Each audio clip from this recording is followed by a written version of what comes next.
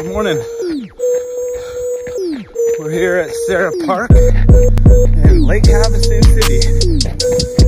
And I actually have not ran in eight days since my ultra. I had to recover